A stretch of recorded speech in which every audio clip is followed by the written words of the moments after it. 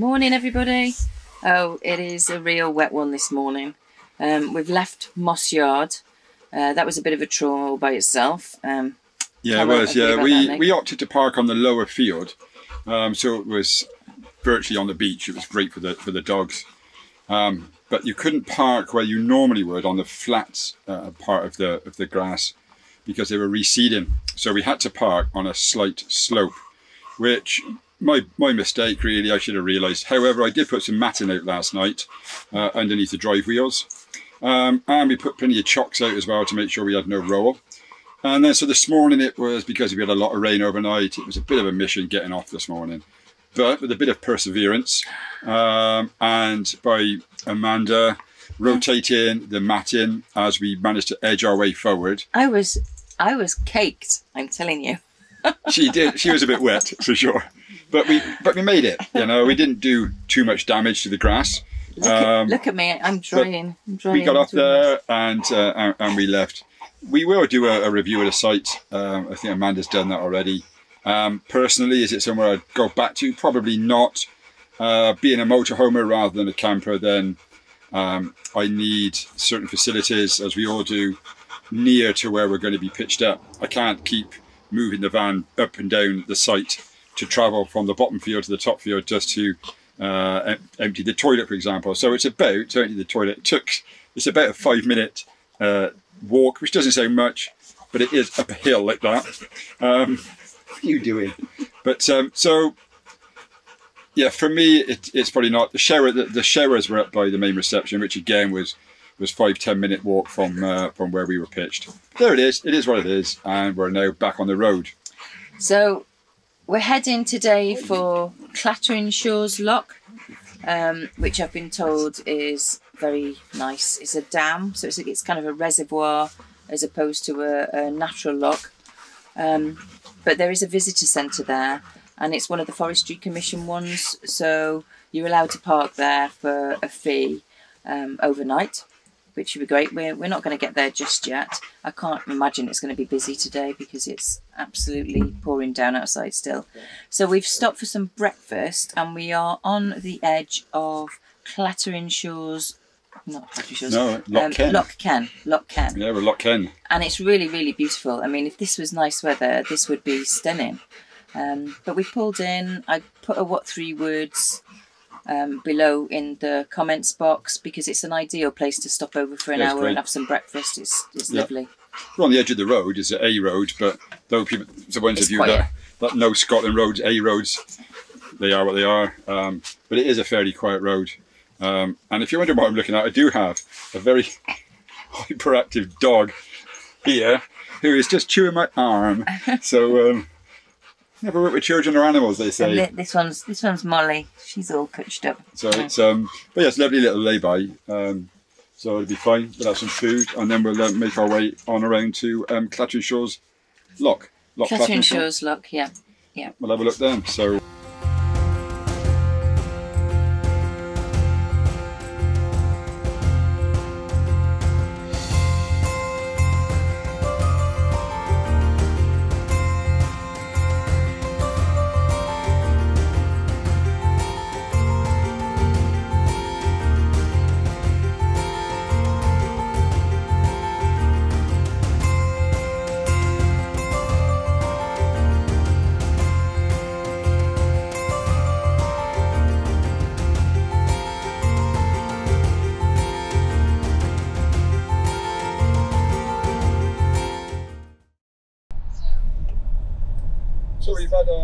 a, a stop Yeah. and uh, we're off and we're going to make our way around towards Clattering Shore Lock or Lake.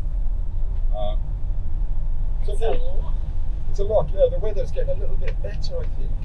Yeah. So see how it goes. And uh, I've checked the forecast and it says about two o'clock it's meant to stop raining. So. okay.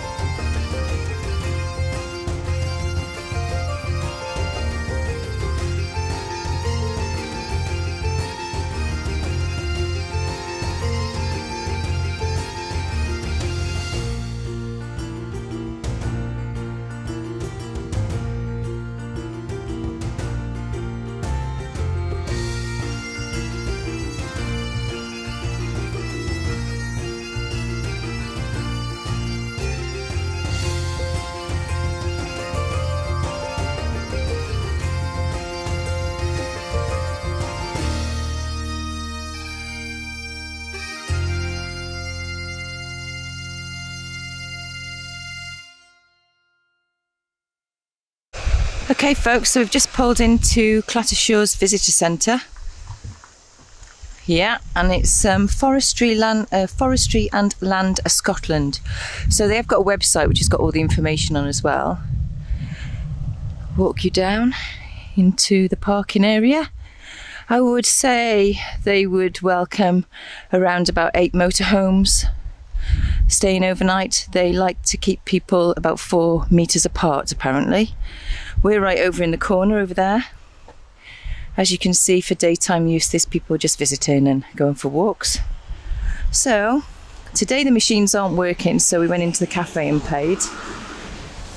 But the way that it functions is if you turn up during the day and you want to stay overnight, then you need to pay for an all day ticket, which is £3. And then what you do for overnight parking is you buy two parking tickets to cover you for overnight. If you then decide you want to stay for a bit the following morning, then you've got to obviously top up. Um, but they only like you to stay for one night. So, here we go. Stay the night between 1800 hours and 10 o'clock. So this applies only to motorhomes, campervans, and caravans with own toilet facilities. Now there is a cafe. I'll walk you up to that in a minute, and there are toilet facilities. Not sure if they're going to be open during the night or not. So from here you can walk off to Bruce's Stone, and we are literally right on the loch here. Um, it's a bit murky today. You can't see much, really, to be fair. But we'll um, go. We're going for a walk in a in a while. So, yeah, as you can see, plenty of space, great stopover. Um, I can imagine when the sun's shining, this is just amazing. We've decided to go right up the corner, out of the way. There's also an Elsan point here. I haven't seen a tapas yet, but I may find one up the top.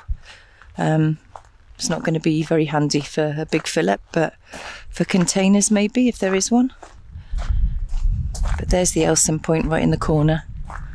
And I just think that Scotland is so fantastic catering for people because it just saves people dumping their waste in places that they shouldn't, which is going to be in the loch, isn't it? You know? So Clatteringshaws is actually a dam and was constructed by the Galloway Water Power Company 1932 to 1934. And there's a little monument here which tells you all about it. So I'm going to go back in now and get togged up and we're going to go off for a walk. First of all, to see Bruce's Stone, and we'll go up by the cafe area, which looks to be quite busy to be honest. I've just walked about five minutes from the visitor centre down a pathway to find Bruce's Stone.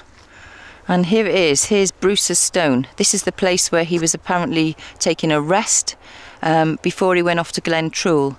Now, apparently, what happened in 1306, he seized the empty throne of Scotland but was defeated by the English and he became a fugitive. So off he went to Rathlin Island and later to Ulster in the Hebrides, but he returned the following year to retake his kingdom. So over at Glentrool is a stone which commem- commemorates where the battle was, but here is a stone where he took a rest.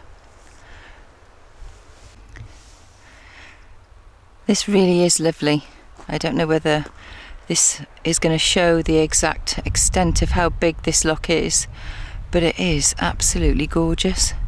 It's a bit of a grey, miserable day today, but the rain stopped.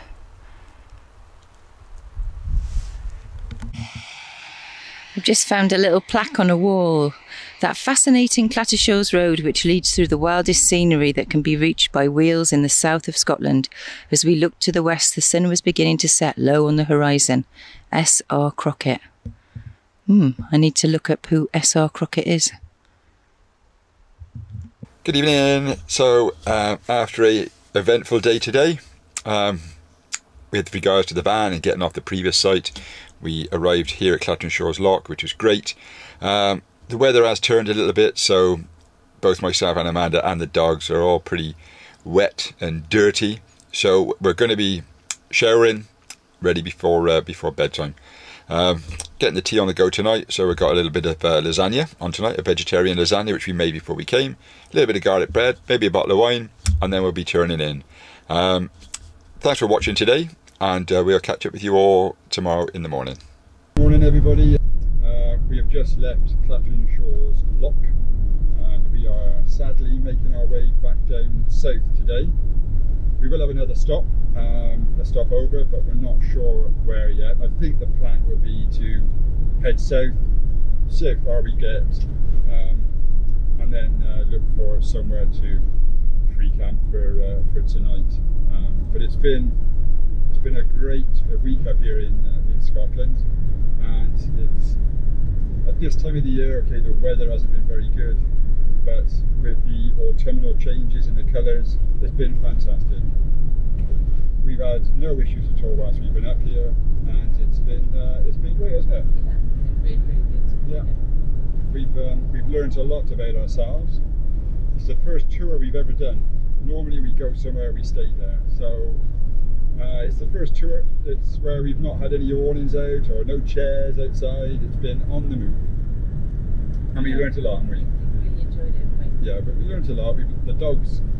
It's been difficult on days for sure, and we've learned what is good and what is not good now when you've got three big dogs with you, um, and also what we need in the van. And I'll be running through all of this with you uh, in a video a little bit later on about what we have learned um, and changes I'll be making to the van, to the layout and setup of the van, and also little purchases we're going to make uh, to make life a little bit easier when we go on to our next trip, which was going to be is coming back. Yeah, so it was going to be uh, in, in South Wales, uh, mid and West Wales.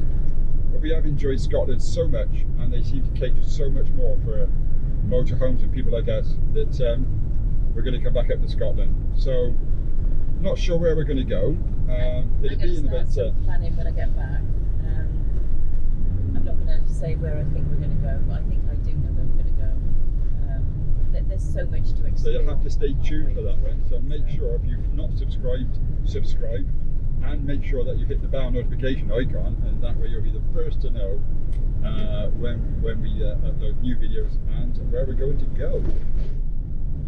So we're going to make our way down south, um, and we'll stop off, get some breakfast, and we'll catch up with you uh, in a little bit uh, a bit later on. See you later.